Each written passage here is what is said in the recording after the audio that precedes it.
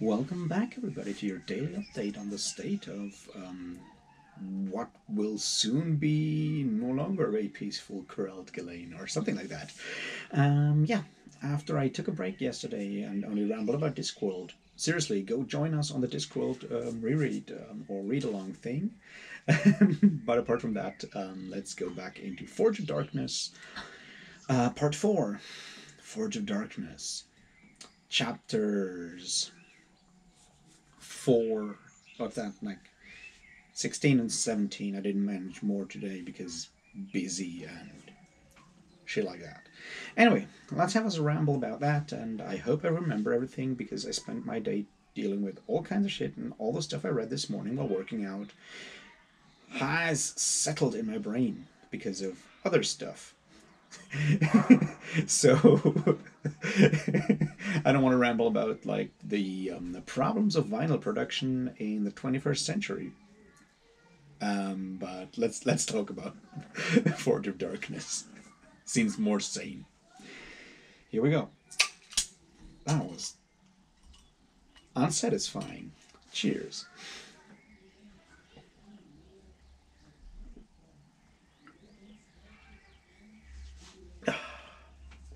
All right. So things are getting more and more interesting and um, escalating more and more. Um, we spent a lot of time this time around in Jaghut country and Azathanai country and whatnot. And um, yeah, that's going to be interesting to look at. Um, so I kind of see, I'm confused. um, no, I get it. All right, so we find out what um, the. I mean, there's a lot of like argumenting and stuff that I'm gonna go into in a minute, but basically we find out what um, Draconus plans to do, like get like a weapon made out of night or something like that. I get Night bound in place, and he asked Errastas to do it, and he needed blood for that, or he thought he needed blood for that, and that's why he killed Hood's wife, or beloved. I am somewhat unsure, but it, you know, stuff. And yeah, there's problems going to come from that, and we just know there's going to be problems coming from that. And Draconus suffers from some of those problems, and then we'll see where that goes. And then, obviously, on the other side, we have that whole Civil War thing escalating further and further and further, um, with all the bad things that um, connect to that. So, let's talk about a theory. So, I'm just going to drop this, and I'm pretty sure I might be wrong, or others have thought of it before. So when I read this today, and there's this part in chapter 4, in chapter 16, I'm getting confused.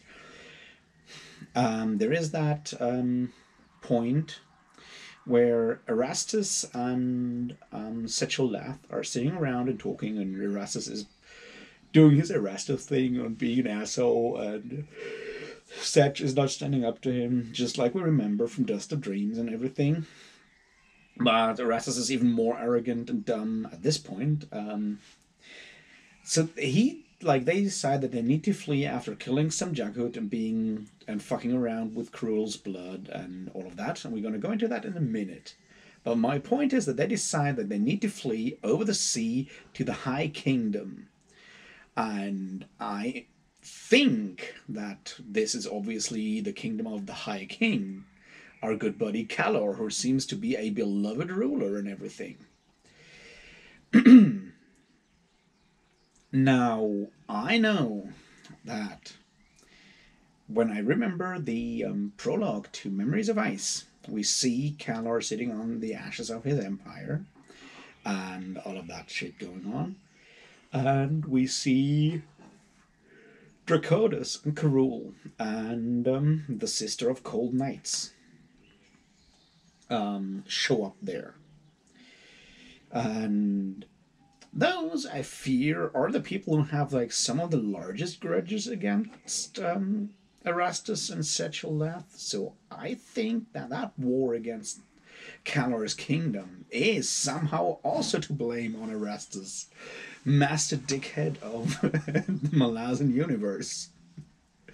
Or at least one really high up there.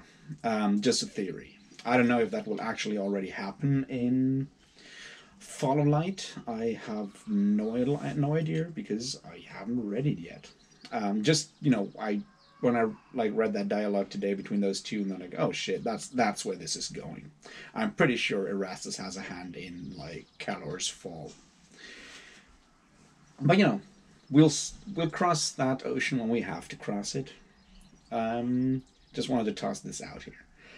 So let's get into more details and stuff.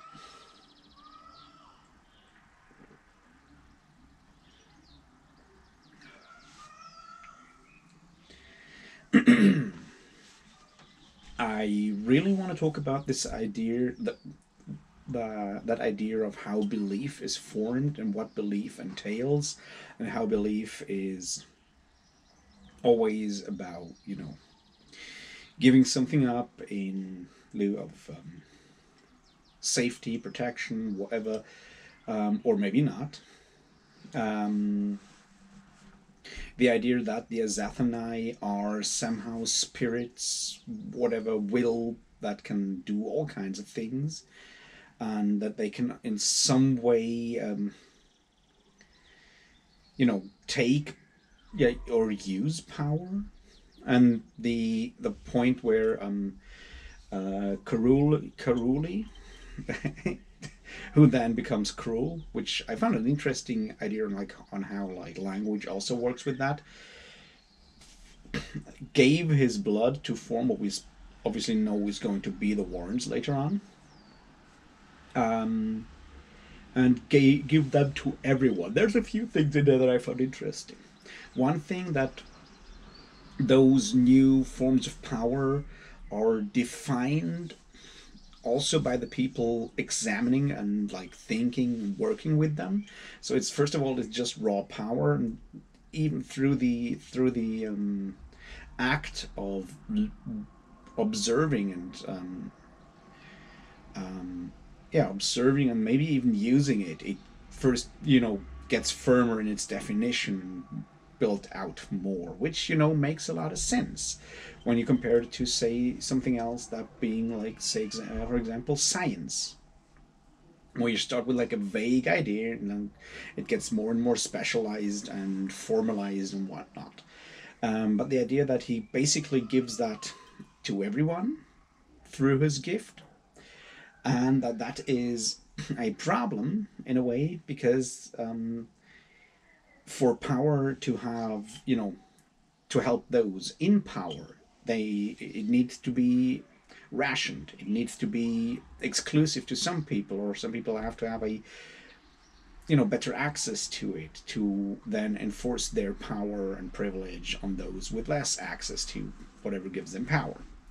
So the act of actually doing the thing he did, not being giving away his power to everyone, he he questioned the established order of some people having power and there having to be a transaction between those of who have power and those who want power in a way. He, he just questions or devalues that whole system.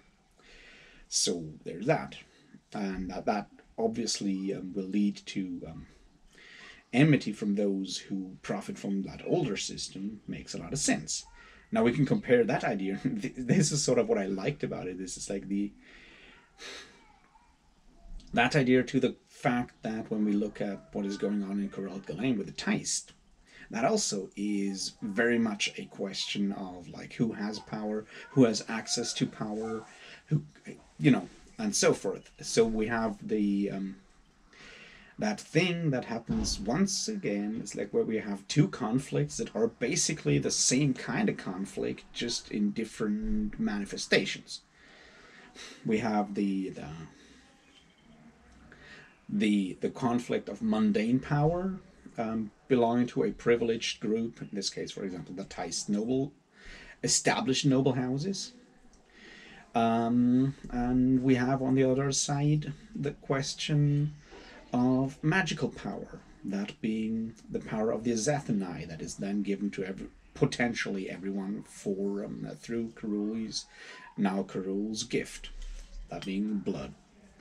So that I felt is an interesting idea to look at the like the conflict, and it's one of those things that I like so much about what I've read so far of the Kharkanas trilogy, or like the first two, like the first book of it, this being Forge of Darkness, is that so much of it, like I mean, we always talk about these themes, but I I really appreciate the fact that like the question of power, um, power imbalance, um, economic imbalance, um, built in systemic um, injustice and some systemic inequality is such a main theme here in the idea of rebelling at it, against it or how we deal with such like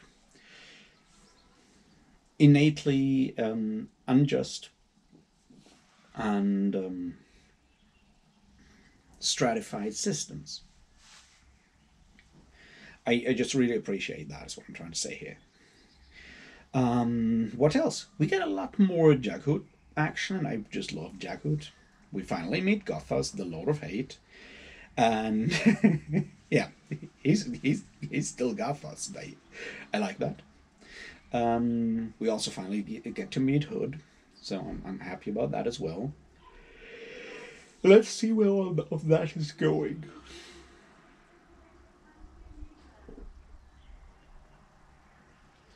Obviously we also um, the puppets. I feel that's sort of interesting because I guess that's sort of the point that the puppets that he gave to that Varandas gave to um, Haut to give to Korya turn out to be the Bowls brothers or whatever you have them in the Malazan universe, and the ones he makes when they come to his tower are um, the Nocts, whom we also meet later on, which you know is cool. Um, so you know these like things that you can only appreciate when you have read the Malazan Book of the Fallen um, are cool. On the other hand, I just wonder how it feels to first read Kharkanas and then go to the Malazan Book of the Fallen and understand all the things in the Malazan Book of the Fallen. It's like it works both ways. I feel. Um, but let's not go too, too much into that thing. Um, what else?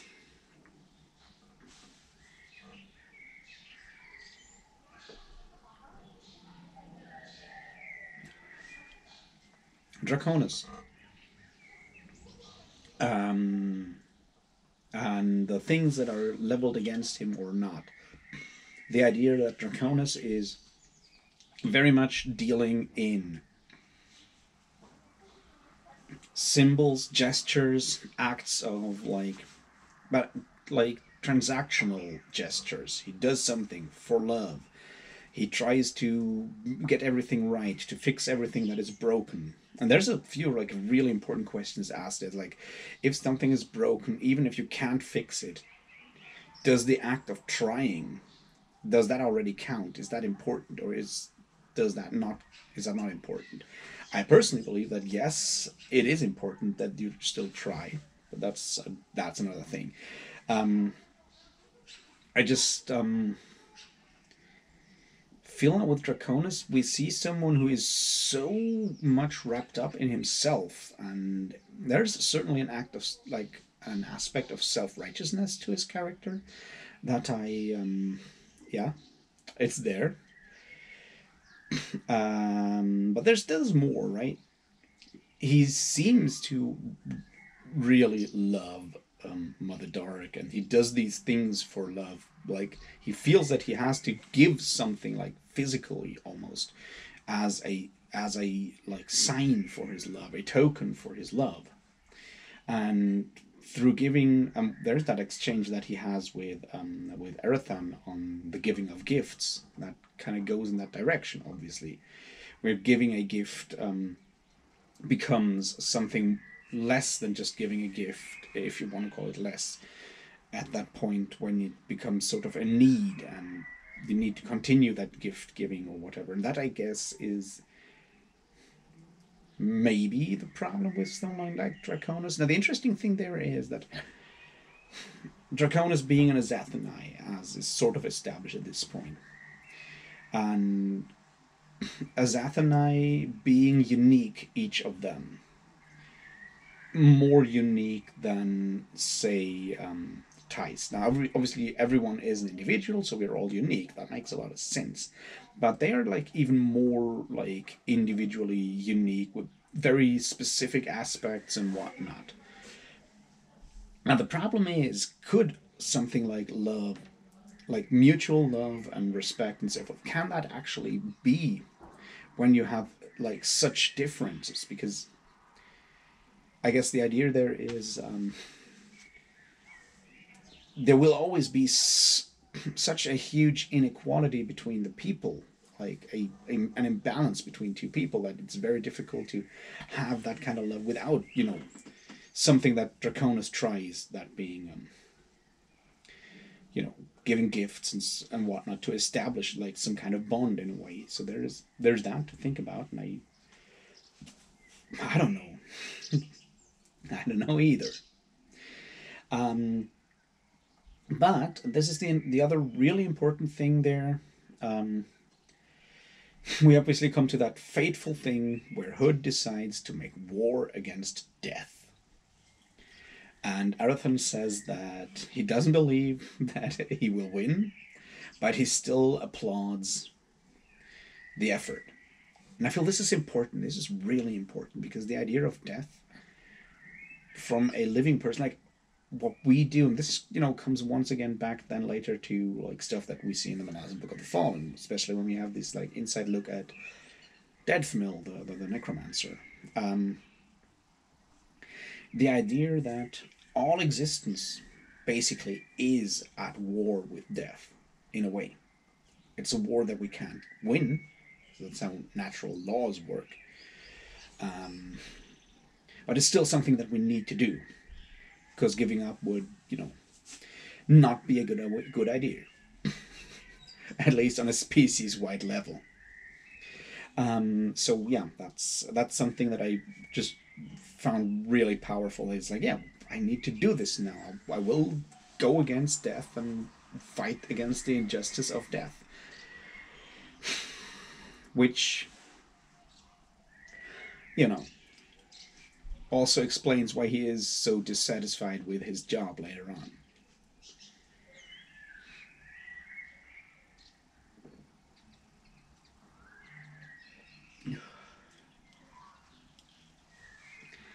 Um, what else was there? Yeah, what's the discussion on like the problems of civilization? That you know that civilizations and progress how they work and that um, when, when when civilizations stop progressing and are regressing and falling apart. And i like that point where i think it is Haut or Korya in their discussion when they say that one of the advantages or like the, the strengths of civilization is that it gives us the time for learning and studying for education and that being a protected space where we can figure out shit. And this is like this is in theory at least true, which makes you know all the fuck ups we do with our education systems so highly problematic because education that that time of education should be exactly that. It should be a place where kids, young adults, whatever you want to call them, like growing human beings can figure out what like you know learn things in a safe environment figure out who they want to be in a safe environment.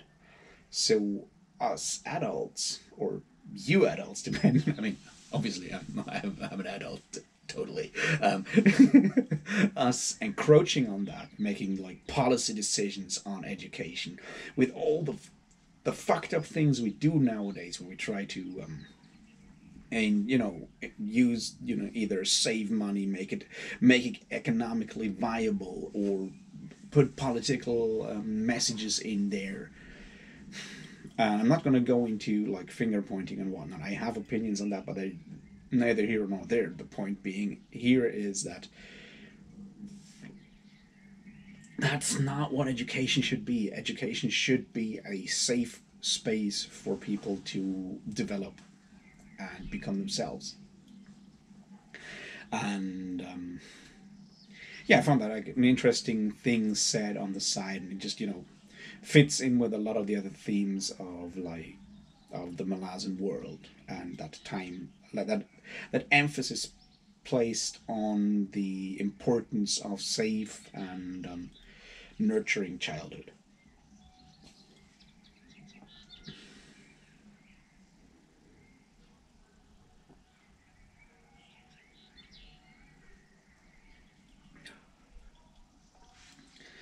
Um, yeah. What else? Um, we see the border swords returning. We see Rint, Rint full of rage. that was like a powerful scene when they tried, when they decide to bury uh, Gas, Gaston. I think that's his name. Sergeant? Yeah, that guy. When they dis- they talk about how to bury him, when they bury him, the idea of um, rage, of who takes advantage of whom, and all of that. Um, I feel the important thing here is that that pile up of rage that we see in someone like Rin, right? He's he's frustrated for all kinds of reasons, and we see all of them coming into a head at the end when he figures out like when we, when we learn on the side that he apparently has been an abusive husband he attacks and rages at his wife and him realizing um, like all these things how much of that is based on fear and all these other things through sort of the strength of Feren, his sister and yeah and then they come home to a burning town and, you know, the amazing thing here is, and I feel like I, I, I appreciate I appreciate what um, Steven Erikson is doing here because it's something that he only I feel did maybe in Midnight Tides. that point where you see a like um, coming conflict and you have both sides or have at least some like insight into both sides. But here it's even crueler, right? You see, you see all those Legion people doing all that bullshit, you know, dressing up and trying to raise like everyone against everyone to achieve their like goals, and it works. It all works. it ain't that fucking frustrating to read. It's like, yeah, fuck makes me so angry. makes me really angry. Now, once again, I I found interesting there. There's a, like a lot of interesting aspects in that as well. Like I mean, apart from just the violence and shit. Um, what I found interesting was on the one hand. Um, the point once again of that dude whose name's maybe Narad, something like that. Narad, I think. The beat up guy um, who is still like very much dwelling over that whole um, marriage rape scene and everything, and then he decides to actually do something else because he doesn't want to be part of that, and he just like it all plays out in his head while he's going through that village and kill, still killing everyone, and I feel that's an interesting aspect where we see that um, the the point is not only how we think because we can like build up all these imaginary worlds and dreams of what we will do and justify our future actions and everything build all of that while still doing the complete opposite because of outside circumstances that are beyond our control that we will completely you know still continue to do like the bad things. Because we once we're deep enough in a specific rut in a specific hole it's very, very, very difficult to actually um, get out of there. Sometimes it's not, it's impossible. That's sort of the other part of that that we kind of need to, you know, accept in a way. So I just found this interesting because on the one hand it shows that even at least some people who commit atrocities afterwards also still have some vestige of a conscience and suffer from that I guess that's that's an important aspect that we see in the aftermath of warfare everywhere. That um, even like that like combatants that committed atrocities will also suffer from the trauma. Now, I, am not saying we should, like, you know, this is not a like relativistic thing where you say, yeah, but you know, the murderer also suffers. The, the violent person also suffers. That makes it better. Now, it doesn't make it better. It just means that when we have to deal with people that have committed such things, and for example, after warfare, especially in you know civil wars, and this is a civil war, which makes it so much more brutal. Um, after those are over, we need to accept that there is even though there may be a clear delineation between you know perpetrators and victims in a lot of cases this doesn't mean that the perpetrators come out of this unscathed in a way. And this is incredibly important when you talk about how like what to do once a conflict is no longer like fully violent. It, it that's like super important to keep in mind that you know when you try to impose peace or like establish a civil society afterwards it means that you need to understand that those people that perpetrated like crimes crimes of war in this case and atrocities they will also suffer from what they did at least some of them maybe a lot of them. Um, which you know doesn't make anything they did better.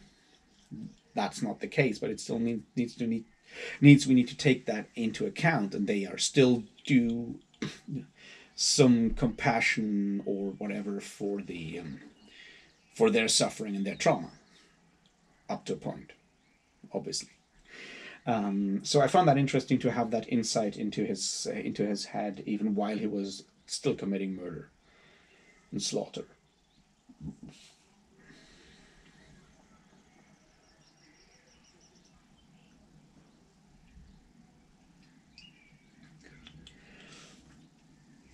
Another interesting thing was that um, um, meeting between the border swords and the Jellican, who, um, when they give them the antelope and they eat together, and they have that argument there.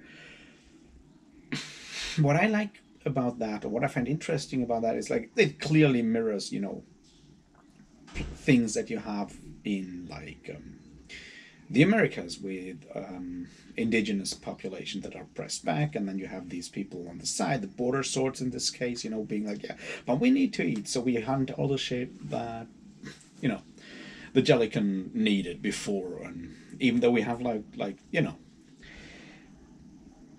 that problem that encroaching with like needs that can can't be fulfilled in that way by just hunting um, and having a superior military force.